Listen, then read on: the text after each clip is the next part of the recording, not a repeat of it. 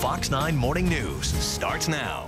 And many Minnesotans spend a lot of time at the cabin each and every year. That's a, that's a nice cabin. cabin. Uh, is this a good time to look at buying lakefront property? We'll take a look at what, that when the Fox 9 Morning News comes right back with a lakefront real estate expert.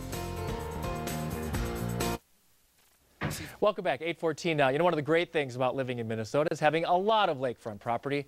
90,000 miles of it. I had no idea there was that many. All right, many Minnesotans, of course, will look to buy vacation homes or even make the cabin their primary home now or in the future. But there are a lot of things to think about before buying that dream home on the water. And here, here to help us avoid pitfalls and other disasters, Jim Slater from Lakefront Plus Remax. Good morning. Thanks for being here. Well, thanks for having me. Well, this is this is really fun to think about, especially when we have eight to 10 inches of snow coming, because there are people who will spend a lot of time at the cabin in the winter. But let's let's talk about the summertime. Uh, when we think about buying a dream home on a lake or some other piece of water, uh, what are some of the most important things to consider? What do we need to look at? You need to look at uh, building restrictions, riparian laws. Everything changes on every lake. How restrictive can some of these rules be? And if people, you've probably found people who've purchased homes and they want to do certain things that they can't, right? Absolutely. They think they can just tear down a home and put another home right on top of it.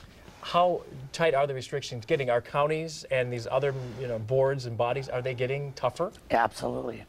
Everybody wants to protect our lakeshore because it's such a commodity. We don't have much of it anymore. And so that means there are different rules when it comes to what setbacks and if you can put little buildings on or if you can split up your property. That those- Absolutely. Are those the kinds of things that they're looking at? It happens all the time. What are we looking at here? The, this this isn't a cabin. What- We're looking at the monitor right here. Oh, yeah. It's a beautiful home on Prior Lake. Uh, uh, are these? How often do homes like those come available?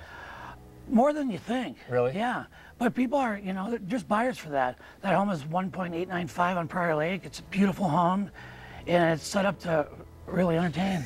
Not a cabin, maybe for most of us. No.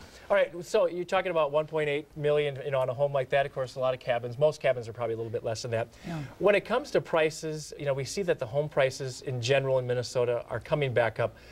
What are prices looking like? Are prices good as far as sellers or buyers right now for cabins and lake homes? Well, it's actually a good market for both sides. Okay. The inventory is really low. And is that almost always the case? Well, waterfront property has. Yeah. You know, it's, it's low. Something that's higher. You know, when people feel good, Mm-hmm. they'll buy. When they feel good, they'll sell. Okay.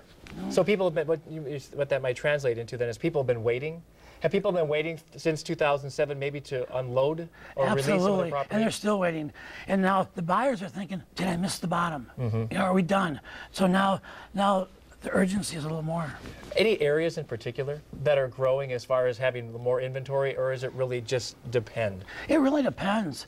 Um, the metro is becoming really great because a lot of people don't have time to go up north anymore. The three, four hour drive. Yep. Their kids are in sports and ballet, dance, you know. So are you finding they want to buy uh, something on a lake and live there year round instead of driving, or Absolutely. Yeah. They're selling their home in Apple Valley, their cabin up north, and they're buying a primary metro uh, lake home they miss their grandkids. The grandkids aren't coming there anymore. interesting how that's changing? Uh, who? Yeah. So who is buying lakefront property? Is it is it young? Is it retired? Is it everybody?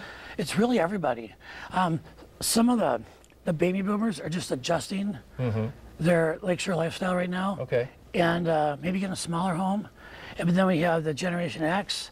They're all over the board. They want one or two hours close. Yep. Um, we even have second home buyers coming to Minnesota, and they want to be close to the airport, in proximity to everything, though. Do you still find that you uh, back you know 20, 30 years ago, a lot of people bought small cabins and they worked on them for 20 or 30 years for retirement homes. Are people still doing that? Is that still a possibility to buy something as an investment? Oh, absolutely. Well, Then a lot of times they just pass it on generation to generation. We're out of time, but I, have to, I was been told that you do something really cool every time you sell a home. What is that? Oh my gosh, I have amazing, amazing passion with the Smile Network International. We just had those folks in just Oh about, about, about a Yeah, month ago. It's, it's amazing. Every time I sell a home, I donate a, a smile, a surgery, um, to the buyer and the seller.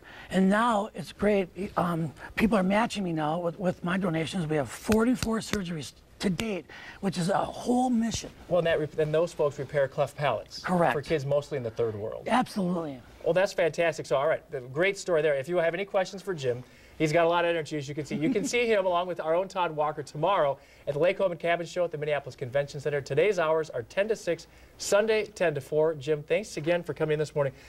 Just more things for us to think about. Great, That is kind of fun. Uh, Todd Walker, of course, will be out there as well. Appreciate it. Thank Good to meet you. Appreciate it. All right, need to check on that forecast. I know we're